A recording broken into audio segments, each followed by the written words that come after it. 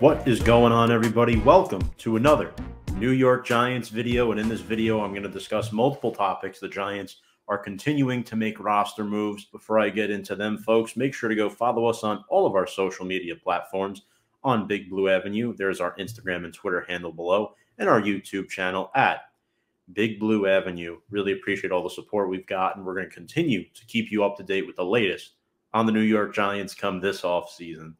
Uh, it's going to be a very interesting few days to see what happens leading up to free agency. And some interesting news coming out today. The Giants released punter Riley Dixon, saving $2.8 million in cap space. So Dixon was cut due to salary cap space issues, a player who would have accounted for $3.1 million against the cap in 2022. And back on December 21st, remember before that week 16 game, the Giants restructured Dixon's contract to create cap space back on December 21st. Again, poorest job by Dave Gettleman last offseason altogether with the cap. Some people like myself are going to miss Riley Dixon on this roster, and I'll explain why. But first, let's get into the statistics that Dixon put out over his time here with Big Blue. So in 2020, it wasn't very good for him. He set a career low in net 39.4 yards per punt average, not good. And he also set a career low for himself in 2021 on yards per punt.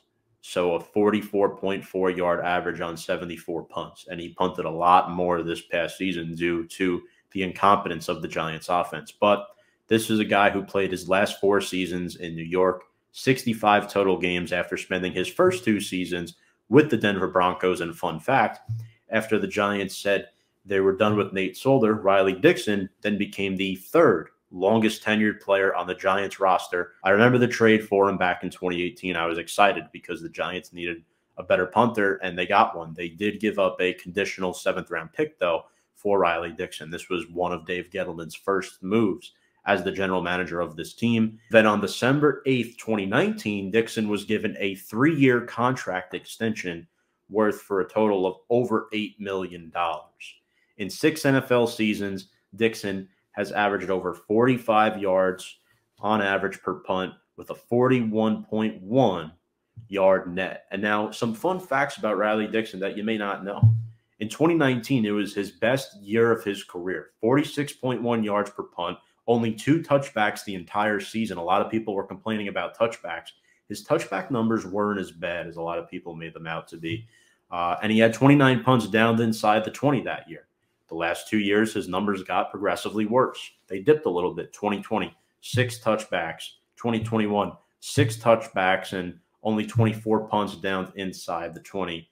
But throughout his time in Big Blue, he placed over 100 punts inside the 20 yard line. The exact number is 101. So if you do the math, you're averaging around 24 and a half to 25 punts per season down inside the 20 yard line. He also holds the Giants franchise record for single season net punting averages since it became a stat back in 1976. He set the franchise record in 2018 and broke it in 2019, averaging 42 yards per punt. And also, yes, he is former teammates with Casey Kreiter in Denver as well. This guy was linked to Casey Kreiter, and that's part of the reason why the Giants went out and got Casey Kreiter after Zach DeOssie retired, because they wanted to link him up with Riley Dixon. Dixon is a player who is 28 years old, will be 29 in August. Now, what does this mean for Casey Kreiter? Because he is the long snapper. He's not under contract heading into next season, and long snapper is a very important position and I think it's going to be interesting because this is one of the two to three players I think the Giants should re sign from last year's team. I think they should re sign Austin Johnson. I don't know if they will. Casey Kreiter is the other player that I definitely want Big Blue to re sign. I thought he did a really good job long snapping. And, you know, one thing about Riley Dixon, you complain all you want about the poor net hang time, but he was perfect when it came to holds on field goals. That's something that's not easily replaceable within a punter, um, especially a young punter, because Dixon is still very young. He came to Big Blue at a very young age. But the writing was on the wall for Dixon. I mean, even I knew it. The Giants signed punter Jamie Gillan a little over a month ago. And I don't know if they're going to try to work Kreiter with him or what they're going to do at the punter position. But it'll be very interesting to see what happens with Casey Kreiter. Um, I don't know if Jamie Gillan's going to be the next Giants punter or not. I think there's going to be a second body brought in for some competition in the offseason. Jamie Gillan had a net average of 40 yards per punt in his previous three seasons with the Cleveland Browns. He's nicknamed the Scottish Hammer. Graham Gano, also a Scottish player. So, little fun fact there. And, you know, one thing I do want to say about Dixon before I jump into the next topic Dixon was my favorite player on this Giants roster. I took a liking towards him the minute he came. You know, he's a local upstate New York guy from the Syracuse area, and he did his job. I thought he did his job. Unfortunately, the last two years, his numbers declined a little bit, and it was just a bad contract for a punter, especially with the situation the Giants were in. I view this cut as more of a salary cap cut with a new regime coming in rather than the performance based off of Dixon. And personally, I don't think we'd be talking about Dixon as much if we weren't in this terrible cap situation.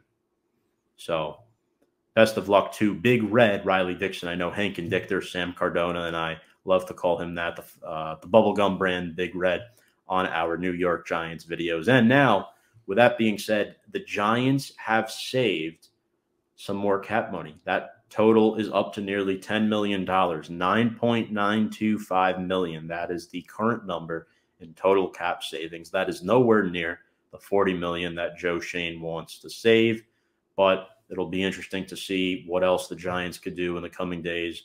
And there is more money going towards that. Giants retaining wide receiver Sterling Shepard on a rework deal, taking a pay cut.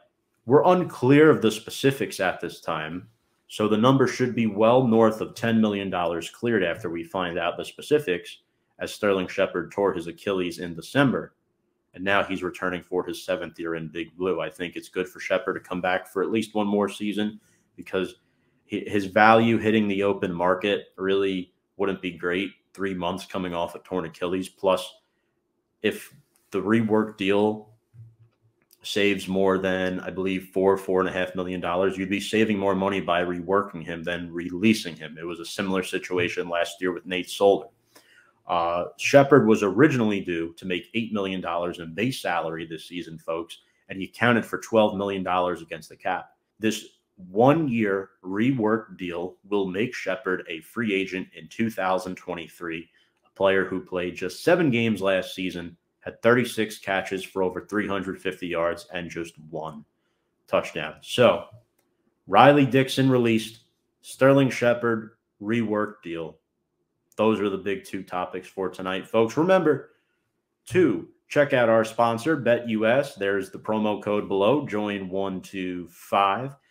Our uh, new partnership, America's favorite sports book, BetUS serves customers for 25 plus years where you can bet on all of your favorite sports and earn a 125% sign up bonus up to $2,500 where you can bet on the go anytime, anywhere on your mobile device and get quick and fast payouts along with live betting as well, a cool feature, and get the best lines out there. That's BetUS, where the game begins. Folks, Looking forward to talking more about the Giants roster transactions and moves within the coming days. But without further ado, let's go Big Blue.